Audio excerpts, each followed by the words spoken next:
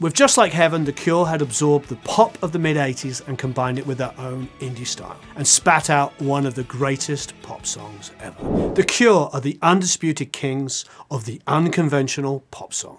And today, we're going to talk about their hit Just Like Heaven.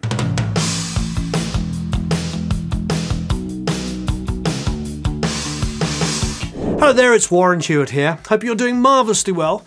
Welcome back to another episode of Songs That Changed Music.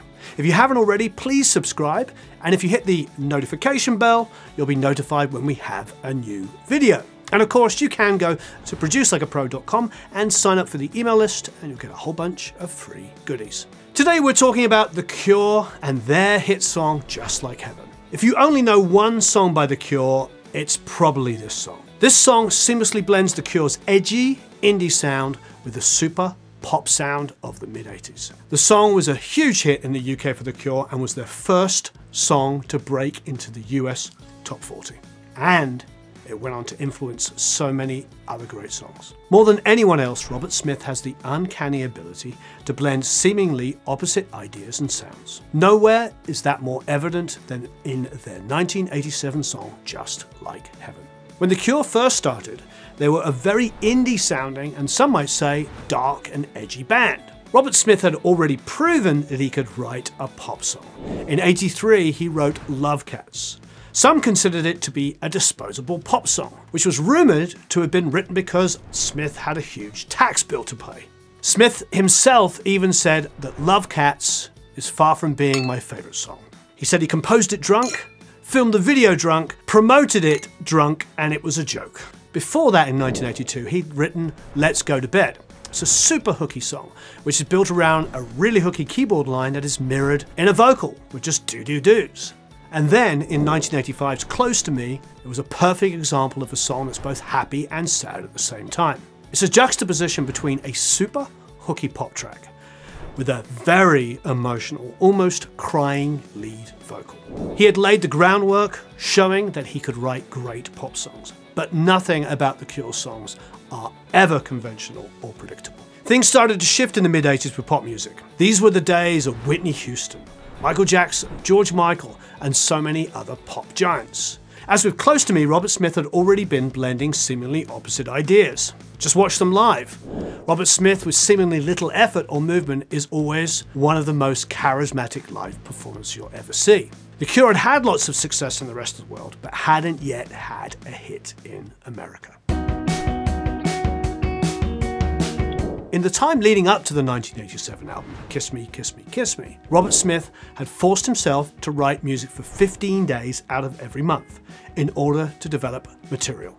Smith himself said, otherwise I'd have just got up in the mid-afternoon and watched TV until the pubs opened. Then I would have gone out drinking. I knew as soon as I'd written it, it was a good pop song. When the song was completed, he reportedly told his bandmates, I'll never write something this good again. So with his new material mostly worked out, Robert Smith and The Cure headed to the studio Miraval in southern France to record the album Kiss Me, Kiss Me, Kiss Me, which included the song called Shivers that would later become Just Like Heaven. The band's girlfriends were at these sessions, which also influenced the music, according to Smith. The girls would sit on the sofa in the back of the control room and give the songs marks out of 10. So there was a really big female input. With Just Like Heaven, Robert Smith was able to absorb everything around him and create something really unique.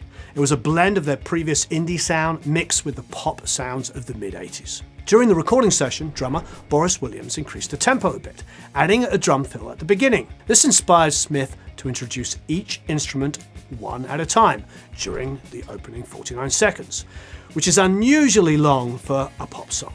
Even Billie Jean's intro isn't that long. It starts with drums and bass, then adds a low guitar riff and thirds. Then rhythmic acoustic.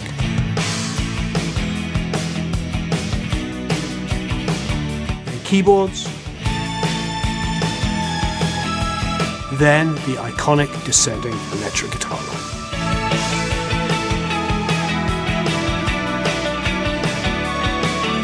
At this point, the song feels so good it could just keep going this way forever with no vocal. As a matter of fact, before the song was finished, the French TV show Les Enfants du Rock asked The Cure to provide a theme song, so Robert Smith offered an instrumental version of Just Like Heaven, stating that it meant the music would be more familiar to millions of Europeans even before it was released. But instead of going on forever as an instrumental, the song adds the only thing that could make it better an incredible vocal performance from Robert Smith. Show me, show me, show me how you do that trick. The one that makes me scream, she said. The one that makes me laugh, she said. And threw her arms around my neck. The long intro isn't the only unusual thing about the form of this song. In a conventional pop song, your form tends to go like this short intro, verse, maybe a pre chorus into a chorus, another verse, another chorus, maybe a bridge, and then, of course, back to a chorus and out but Robert Smith is anything but conventional. Let's compare the standard pop song form to Just Like Heaven's form. We've got a long intro, a verse, an instrumental with that great guitar riff, then another verse, then into another section that can't quite be called a chorus, so we'll call it a refrain, and after that, it's another instrumental, this time with a piano solo. Another verse, again, another shorter refrain, and then the song ends, wrapping it up in a radio friendly 3 minutes and 32 seconds. It's not just the form that's different in this song.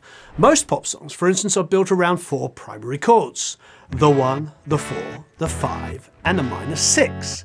But just like Heaven is built on the 1, the 5, the minor second, and the 4, introducing the minor 6 and the major flat 7 on the refrain.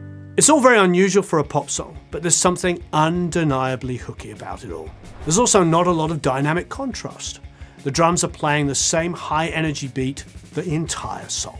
Instead, they bring the instruments in and then take them out to build the song up and down. This is another technique found in Billie Jean, one of the biggest hits of the decade. The subtlety in Robert Smith's guitar playing is fantastic.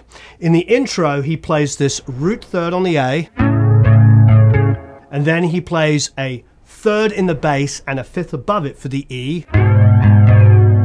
And then on the B minor, it's the root and the third, so B and a D. And then on the D, it's a root and a third, which is the the D and the F sharp. But what I love is when the band comes in and he's just playing those chords again, he adds two different variations. On the D, he adds this major seventh, which gives a great transition. It's very Cure.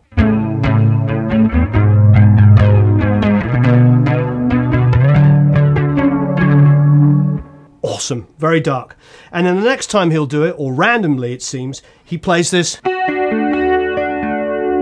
when the D lands. So it's, it's, even poppier. And you can hear on the tracks there's actually a punch in, but it's really super pretty. So you go between this happy major chord to this sort of dark major seventh where it's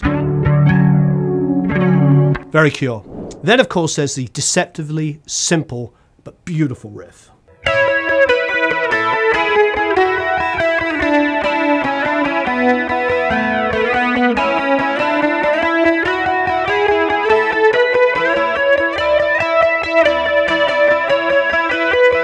One of the most iconic riffs, just an incredibly cool guitar riff. And we were listening around. At the moment, I'm using this like Eastern European made flanger pedal called a Volts from the 80s.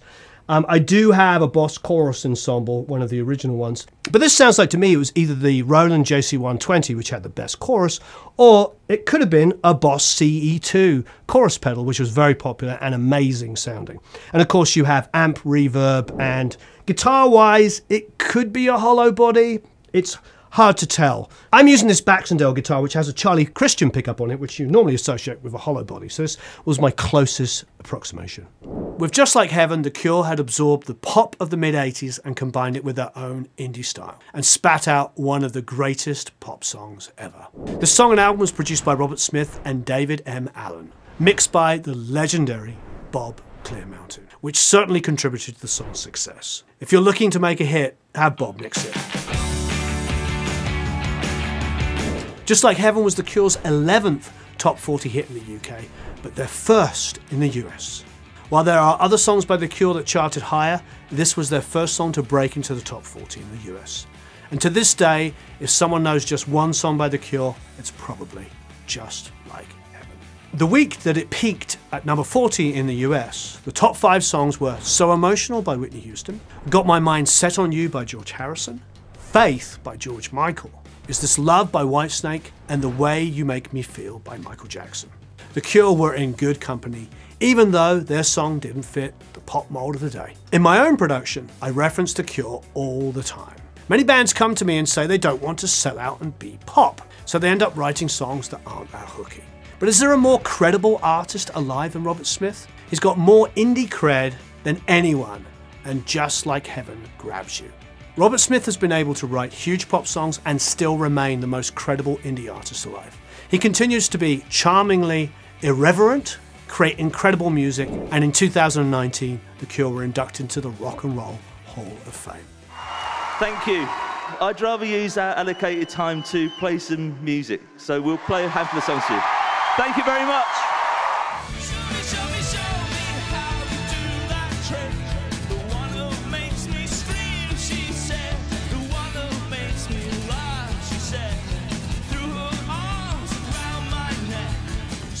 The song has influenced so many songs that came after it. It is a unique blend that is a distillation of the Cure themselves.